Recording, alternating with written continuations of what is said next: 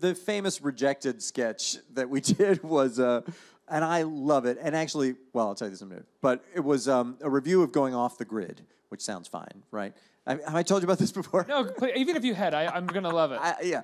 So he's supposed to go off the grid, and he just goes out into the desert to the point where his GPS no longer gets a signal. He's just like, I'm gone. I can't. My phone doesn't work here. I am gone. And he lives by himself in the desert for a little while, and then he he stumbles upon a colony of people living in the desert. And they happen to all be men, and he just sort of mixes in with them and whatever, and and they are like.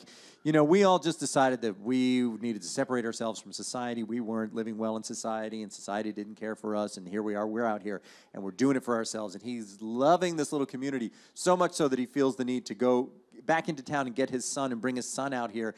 At which point he realizes this is a self-exiled community of pedophiles who have realized they live to need apart from society because they cannot manage to live there. And of course, things go horrifically awry. He has brought a 14-year-old boy into an encampment of pedophiles.